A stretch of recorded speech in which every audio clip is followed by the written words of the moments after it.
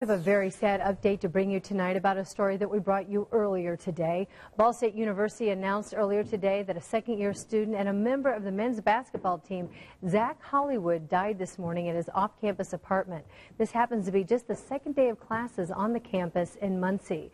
The Delaware County coroner telling Eyewitness News tonight that it appears that he took his own life. He's from Bradley, Illinois, and he is the only child, and he lost his mother to an illness a year ago.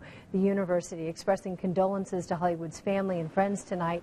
A spokesperson saying there will be campus resources for students who are struggling with Hollywood's loss. And always know, if you are struggling or someone you know is struggling, help is just a fingertip away. Head on over to havehope.com.